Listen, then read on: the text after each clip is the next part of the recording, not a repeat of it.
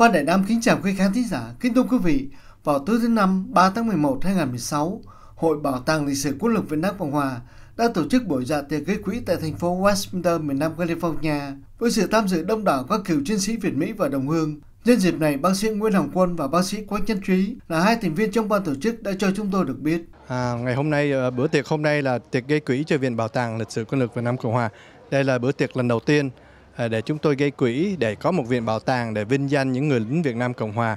à, bảo tồn những cái di sản quý báu của họ và để truyền lại cái lịch sử của họ cho thế hệ sau. À, chúng tôi lý do chúng tôi lập cái muốn nói về cái câu chuyện của các cha các ông của chúng ta những người mà anh hùng đã hy sinh cho cái ý nghĩa là tự do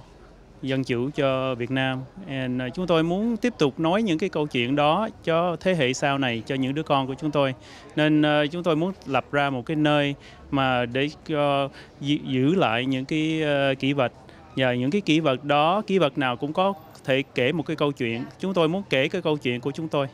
Và luật sư Đỗ Phủ, Phó Tổng Giám đốc Đài truyền hình SCTN và cũng là cố vấn pháp lý của hội cho biết. À, đây là một cái nhiệm vụ mà tôi nghĩ là tất cả những người mà mang máu huyết của những người quân dân cánh chính Việt Nam Cộng Hòa đều phải làm để cho thế hệ mai sau con em chúng ta biết là cha anh mình đã làm những chuyện gì và cái viện bảo tàng là mình nhắc lại cái công cũng như chuyện của những à, người đi trước chúng ta đã làm những gì và hy sinh như thế nào để chúng ta có tự do và chúng ta có ngày hôm nay. Trong buổi ra tiệc cũng được tướng James Com và nghị viên thành phố Washington là bà Diana Curry chia sẻ cảm nghĩ khi tham dự.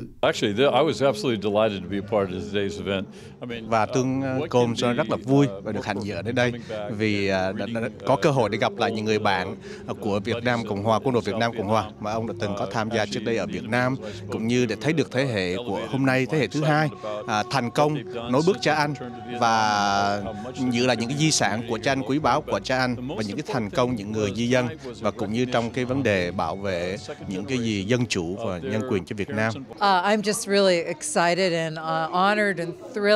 Be here. Bà đang nói rất là vui có mặt hôm nay ở đây và nói về cái vấn đề mà Viện Bảo tàng và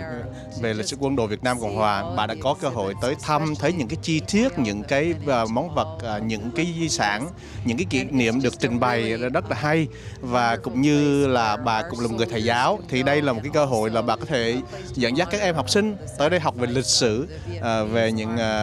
về quân đội những cái uh, sự hy sinh mà Việt Nam họ đã họ đã xương máu của những hy sinh của họ những đóng góp của họ cũng như sự đóng góp của con em và uh, vinh danh những uh, những cái thành quả đó Chương trình được bắt đầu với phần nghi thức chào cờ khai mạc và phần chào mừng quan khách của bác sĩ Nguyễn Hồng Quân trưởng ban tổ chức và phần trình diễn ban chấp hành của Viện Bảo tàng Lịch sử Quân đội. Sau đó là phát biểu của cựu Trung tướng Nguyễn Bảo Trị. Ông đã hết lời ca ngợi lớp hậu duệ tiếp nối bước cha anh và ông nói tiếp. Riêng tôi, tôi sẽ biếu Viện Bảo tàng Bộ Quân sự Việt Nam Cộng Hòa đã ấn hành trước năm 1975. Tôi cũng xin tất cả các vị hội trưởng, các hội đoàn nên có những các cái tiểu sử của mình, của đơn vị của mình, của cái hội của mình để ở Viện Bảo tàng. Kính thưa quý khán thính giả, buổi dạ tiệc gây quỹ của Viện Bảo tàng Lịch sử Quân lực Việt Nam Cộng Hòa sau đó còn có những phát biểu của quan khách tham dự và phần bán đấu giá những tác phẩm do những nhà hảo tâm bảo trợ. Và nếu quý vị muốn biết thêm chi tiết về Viện Bảo tàng Lịch sử Quân lực Việt Nam Cộng Hòa, xin vào website avnhs.com và chúng tôi cũng xin chấm dứt phút sự nơi đây. Xin hẹn quý vị vào những chương trình kế tiếp.